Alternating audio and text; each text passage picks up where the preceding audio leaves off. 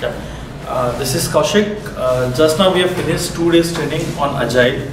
Our trainer, Mr. Amit Kulkarni, he was a fantastic, you know, trainer. Uh, the subject, when we talk about Agile, it seems very difficult. When we came into this training, we thought, you know, what it is, and uh, it's gonna be a difficult one.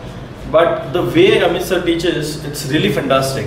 And it was totally practical approach. So whatever we had been taught, whatever concept were there, we actually practically did in this training. So it was a fantastic experience, you know, being you know guided by him, and uh, you know you can probably have a look at these charts and all.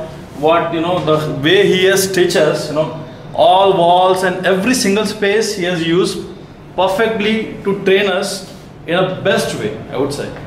Now we can say that you know easily we know all the concepts of the agile, and uh, we are so confident that probably we can you know go for the certification exams and will definitely pass that.